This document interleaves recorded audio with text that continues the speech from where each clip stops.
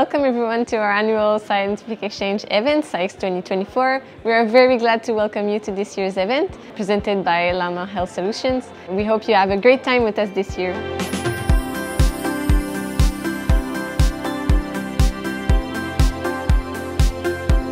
On Women Health, what was really interesting is to see the attractivity of making uh, what we call a citizen project, meaning that you are asking to, uh, to people, real one, to, to, to work with you and to be able to make more advances in science. So it's just not just a question of science, it's also a question of societal, which is really, really attractive. Because it's a very nice knowledge exchange between academic scientists, but also the industrial top scientists, I think, from Lallemand Health Solutions. And we have, for example, a, a nice demonstration that um, make an intervention during pregnancy can really make sense for the for sure the health the health status of the woman, the mother to be, but also for the babies. Woman health is really exploding with a real science. It's not just now a question of making preclinical is doing real clinical investigation.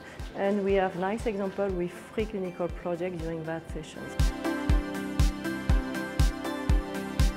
This event is a good opportunity for the trainees. So one of my trainees who is working on the project is actually here and very happy that he gets to show his results. This is actually my first time here in Lallemand SciX conference and I'm actually very excited because I see that there's lots of uh, leading scientists all over the world attending this conference and this will offer me a great opportunity to learn about the frontier science of the gut microbiome. On gut brain, it was really, really attractive because we learned, for example, new things around what we call the gut-skin axis. And we saw that finally taking a, a psychobiotics during a period of eight weeks, you can see really an improvement, for example, of your skin appearance, but also the level of your stress, which is decreased, and also the quality of sleep. So clearly, this new uh, investigation on this gut-brain skin axis is also a reality with uh, clinicals.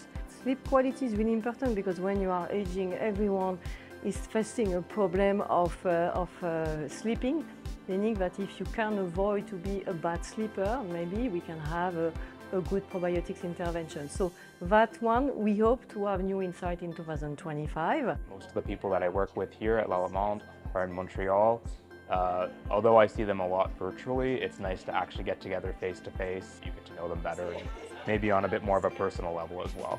Today we already learned a lot about the, the impact of probiotics on central disease, uh, like ASL for example, uh, also how to manage a metabolic disease, also very important to consider maybe for health, woman health, clearly.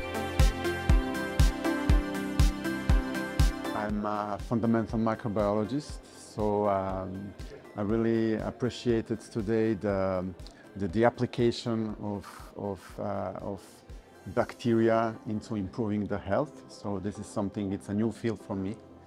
And I think in the future I will also get interested into this domain. This type of exchange is very important.